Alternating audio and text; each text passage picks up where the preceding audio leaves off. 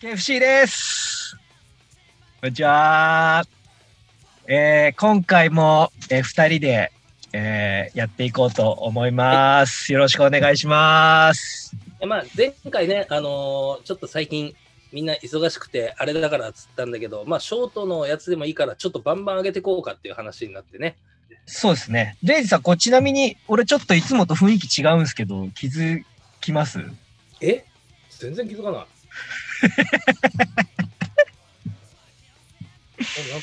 やっぱわかんないか。これ着てるシャツがね、違うんすよ、いつもと。あ、そうなの？そうなんすよ、実は。ここ見てください。30。おおこれあの30周年の記念のシャツなんですよ。本当に？そう。買ったんだ、新しく。買いました。まあ、せっかく30周年なんで、うん、ちょっとまあ、チーム応援っていうところも兼ねて、ここはまあ、ちょっと買っておこうかなと。なね、はい。せっかくの30周年が今あんな感じか。こらこらこらこらこらこらこらこらだから記念の30周年ね、落ちないように J2 に。なるほどね、なるほど、ね、残留しますようにっていうこう思いも込めて、ちょっとね、僕もちょっと気持ちばかりですけど、いいじゃないですか。はい。という、はい。ちなみにね、僕はね、まあ、ガンバはまだ落ちてないからあれだけどね、僕は落ちちゃったベルダーブレーメンです。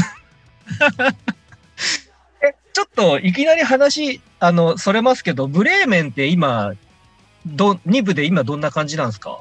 今2部で何位だったっけな どうだったっけ、えーとねでも今シーズン、シャルケもブレーメンも2部にいるってやばいっすね。やばいよね。えーすごいっすよね。今ブレーメンは、そう、うんえっ、と、8位ですね。わ、微妙だなで、まあ、選手も抜けちゃったしね、そっか。すぐに上がれるとは俺も思ってないから、2部も2部で、ドイツ2部すげえから、ね。いや、だってそうだね、シャルケもいるいて、まあ、エレベーターチームだけど、ワーダーフォルンとか、ニュルンベルクとか、ハンブルクとか、うん。あ、そその辺もいるし、ハノーファーとか、やっぱ強い、それなりに、まあ、ブンデスリーガに何回も上がるチームはいっぱい出てるから、ここも地獄だよね。地獄っすね。うん。そうか。でもシャルケがね、あの、板倉選手、あの、センターバック入ってから、なんか調子いいんですよね。ねそういう話はなんか嬉しいよね、なんかね。うん、いや、嬉しい。うん。そう。で、まあちょっと板倉選手の話になったんで、えー、日本代表なんですけども、あ、そういえば大迫選手もいましたね。あ、そうですね、ブレーメンね。うん。オーストラリア戦、見事、勝利しました、ね。ということで、えっ、と、まずね、率直な感想を、はい。聞きたいなと思うんですけど、レイジさんどうでしたか？えーっと、油断してはいけないけど、とりあえず、うん今回を、今回だけはとりあえず一安心かなっていう。油断してはいけないけどね。ただ、あの前も言ってた通り、ワールドカップ出れないっていうのは悲しいけど、でもなんか結果が出なかったら監督解任になるわけじゃんか。で、ぶっちゃけ監督変えてくれよって俺らはそういう感じで言ってるじゃん。でも、なんかあの人って持ってるから、そういう時にポッと勝って、こういう雰囲気になっちゃうんじゃないのみたいな話したの覚えてる？うん、してましたね。まさに今それになったなっていう。そうですね。やっぱ、小市さん持ってますよね。のオウンゴール。かなり劇的でしたね。根本の問題は解決されてないけど、勝ってしまったから、なんか複雑な気持ちではあるっていう。そうなんですよね。まずやっぱり僕らも日本のサッカーを応援してるから、やっぱワールドカップには行ってほしいし、単純にオーストラリアに勝てたことは本当に純粋に嬉しいし、うんでもね、いろんな解説者の人とかも言ってるように、根本的な問題は多分解決されてないんですよね。そうなんだよね。そう、この間の試合も勝てたから良かったけど、っていうところで、まあシステムもちょっといじって、あのーね、3人のボランチはすごい機能してたと思うし、うん、そこはすごい良かったと思うんですけど、まあなんかやっぱり、こう、すっきりとした勝利ではやっぱなかったんで、ジャガー、ジャガーのなんか、よそう、良さが出たっていうか、まあ、采配が当たったっていう風に言えばそうかもしんないけど、うん、なんか、あれこそがそのポイッチマジック的な感じのノリだったんじゃないかなっていうのがあって、あとね、僕、僕がやっぱちょっと気になってんのは、やっぱ長友選手なんですよね。あのね、うん。言いたくない、ぶっちゃけ言いたくないけどね、日本代表で長年頑張って貢献してきたし、すごい選手だと思うんだけど、なんだ？別に今、浦和レッズだから推しで言ってるわけじゃないよ、酒井宏樹を。見劣りが過ぎちゃって、うん。うん、ちょっと大丈夫かなっていう、なんか、1対1とかデュエルとかなんか、え、それ大丈夫みたいなプレーが結構、結構あったよね。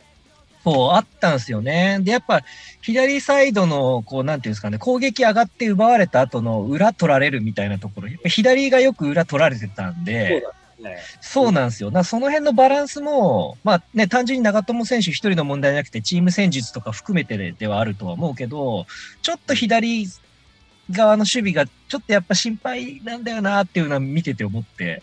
なんか一個すごい気になるプレーあったんだよな。プレス行こうとして、プレスに行くのも遅れたのに、なんかそ遅れてんのに行こうとして、なんか出てったその裏かなんかを使われてピン。かわされて、みたいなやつかな。とかさ、あなんえ、判断力鈍った？みたいな。のがなんかあったりとか、そういうのもあったしな。僕ね、一番そこがやっぱ気になってて、で、まあ中山選手今回呼んでるし、うんうん。なんか、うん、なんか、まあ本、本職左サイドバックではね、彼もないかもしれないけど、うんまあ東京オリンピックでも結構いい仕事してたと思うんで、うん、なんか彼使ってみてもいいんじゃないかな、スタメンでって思ったりもするんですよね。えーなんか、まあ、正直、ちょっと、ああいう判断とかが、なんか遅れてんのかななんて思うんだったら、そういった若い力をね、ポンとちょっと使ってほしいなって。で、試してみてほしいなって。結局、ほら、後継者をさ、ね、は必要なわけだからさ。うん。そうなんですよ。だからやっぱね、こう長年代表に貢献してきた選手たちなんで、もちろん長友も僕ずっと好きな選手だし、もう今でもやっぱ応援してるから頑張ってほしいし、それこそあの、フォワードの大迫選手も、いろいろ言ってるけど、本当大好きな選手だし、J リーグでまた見れるようになったのは本当に嬉しいけど、けどみたいなところはあるんですよね。そうだね。うん、せっかくオリンピックと、なんですか、兼任監督をしたわけじゃないですか。今んとこなんか A 代表見る限り、なんかそこ融合してるメリット感じないというか、まあ、確かに。うん。だね、この間ようやくその田中碧が出て、で、まあいきなり活躍しましたけど、なんかもっとね、なんかサポーター目線で言うと、やっぱああいう融合をもっと見たいというか、そういうのがないもんね。そうなんですよ。結局なんかやっぱ堂安と久保だけが使われて、それ以外の選手がなかなかこう入ってきてないなぁ、みたいなのがちょっと感じて、あと冨安か。あそうだね。うーん。ゴールキーパーは谷でいいですよ。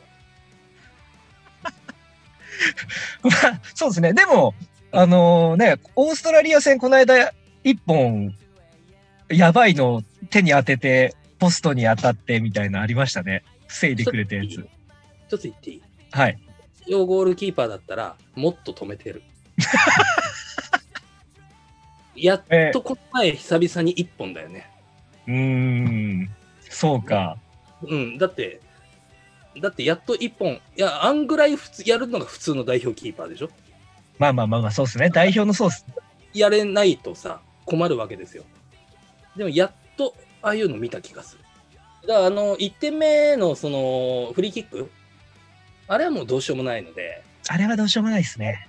誰がキーパーでもどうしようもないのでね、まあ、今回のオーストラリア戦に関しては、でも、まあ、もちろん良かったと思うよ、本田選手ね、そのそれがあったけど、ただ、もっと代表ゴールキーパーだったら、もっとやってくれないと困ります。いやもうキーパーに関してはちょっと申し訳ないけど、正直こう厳しくいこうかなっていう。まあでも、その、僕も基本的に権田ね、選手に関しては、ちょっとまあ、ごあ代表の守護神っていう意味ではちょっと懐疑的ではあるけど、まあ、この間のオーストラリア戦は、いいプレーだったかなって思ってます。うん、うん。そうね。まあ、だからあれぐらいのね、あの、プレーを毎回こうやってくれるんであれば、まあちょっとずつ批判もできなくなってくるなっていう。まあ確かに確かに、うんそういうとこはプレーで黙らせてくれよっていうのはね、あるかもしれない。うんうんこの間は見てて思いました。うんうん。あでもあの、フリーキック、壁の位置ちょっと下げさせられたじゃないですか。ああれってどうなのって思ったんですけど、あどうなんだろうね。まあ、あれはしょうがないんじゃないかな。しょうがないのかな。あ、そう、俺ね、一個ね、だからそれも気になってんだよね。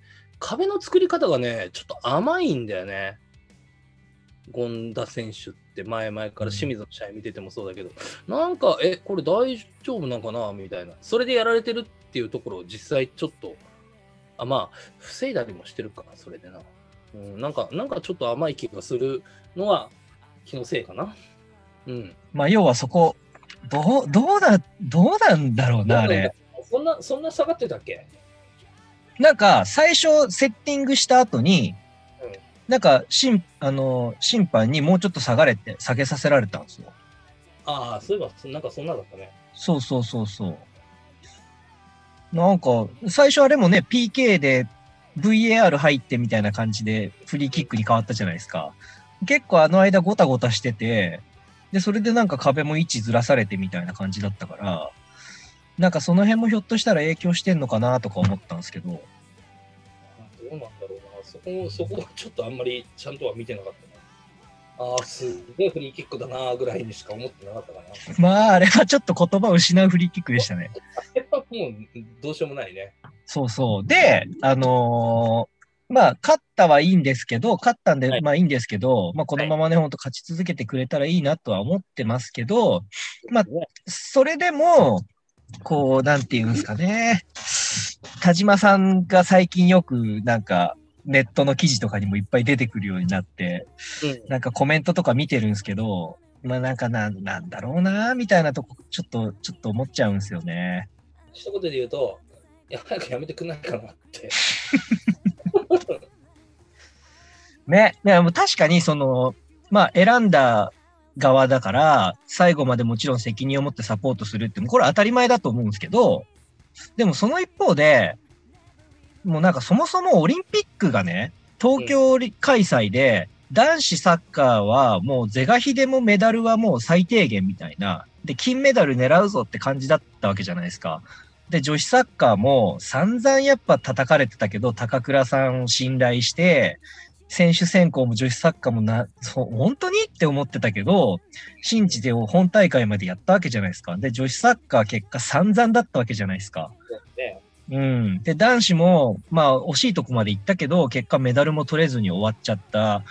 まあ、結果としては、もちろん選手頑張ったし、いい感動もね、いっぱいもらったし、いい試合ありがとうっていう感じではあったけど、結果だけ見たら全然ダメだったじゃんっていうところは正直あるから、そうだね。そこに対する総括というか、なんか任命責任みたいのもなんか何にもないままうやむやになって結局また2年延長、延期でしょ、会長任期。なんかどうなってん？大丈夫 ?JFA って思いますよね。批判されてることに気づいてないってことはないよね。あでもこれでいいって思っちゃってるってことでしょ？だって。まあ、思ってるのか、まあもう反対意見のある人たちをみんな追い出しちゃってて、ああ。イエスマンしかいないのか、まああの、原さんとかも、あの、出てったじゃないですか、何年か前に。うんうんうん。とかもあるから、まあなんか本当になんかね、その辺の細かいことはわかんないですけど、うん。なんかこの今の日本サッカーの状況で全会一致で誰一人反対が出ないっていうのはちょっとおかしくないっていうちょっと思うんですよね。確かに。うん、確かに。誰か、そう、誰かこれ本当大丈夫ですか？オリンピックメダル取れなかったけどどうだったんですか？っていう人が内側からいてもおかしくないはずなんだけど、そうもちろんね、あの人の功績はたくさんあるとは思うんですけあど、うんうん。いやいやいやいや、みたいな。ちょっとなーっていうとこ心配、心配なんですよね。だから、ここから2年でしょ？2年ですね、あと。ってことは、まあ、本大会もそうだし、まあ、本大会、まあ、出れるか出れないかっていうところもあるけど、うん。次のアジアカップぐらいまでってこと？っていうか、一番怖いのは、うん。まあ、ワールドカップ、まあ、出れるかどうか、本大会どうなるかわかんないですけど、その次の監督も、ここの今の JFA の体制で田島さんのままだとしたら、おそらくまた日本人監督でってなる、そうじゃないですか。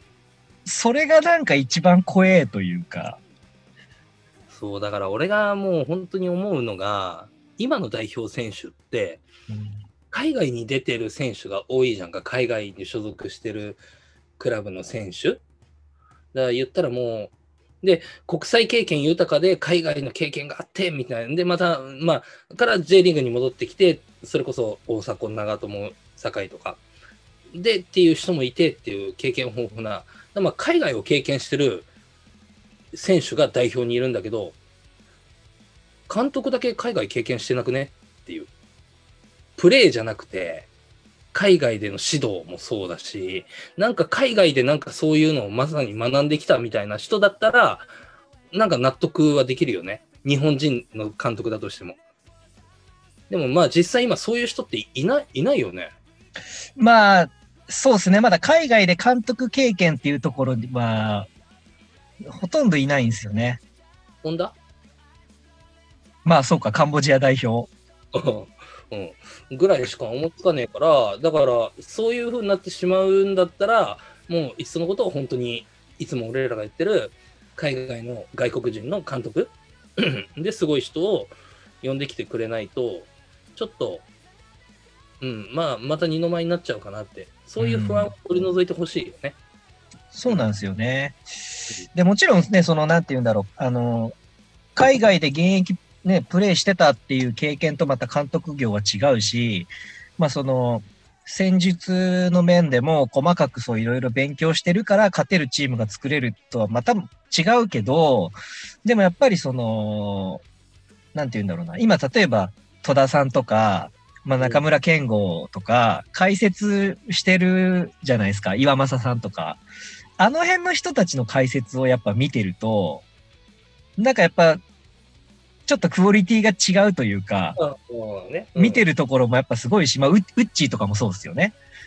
うん、なんか、そうなった時に、今のなんか、代表の、まあ、監督、コーチ陣より、なんかひょっとしてこの人たちがやった方がいいんじゃねえかって正直思ってしまう、なんか感じちゃうとこあるんですよね。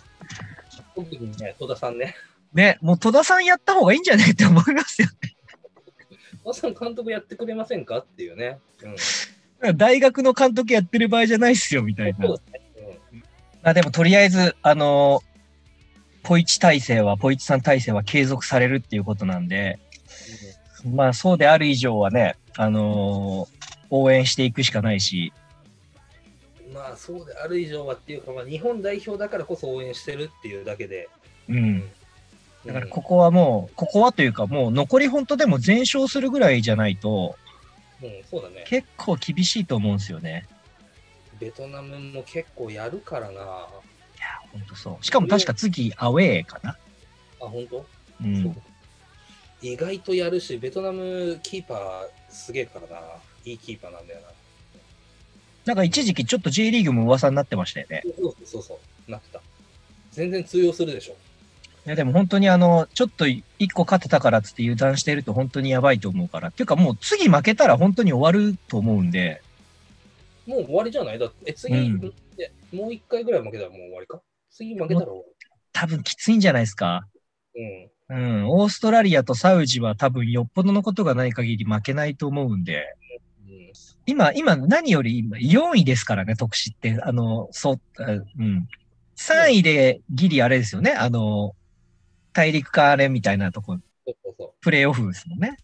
いや、怖えないや、まあでも本当に応援ししていくだけなんで。まあ、当とりあえずそうね、勝ってくれたことに関しては、とりあえず、まあ、ホッとはしてるけど、うん応援はしますけど、もろもろの根本的なところが解決されていないですね。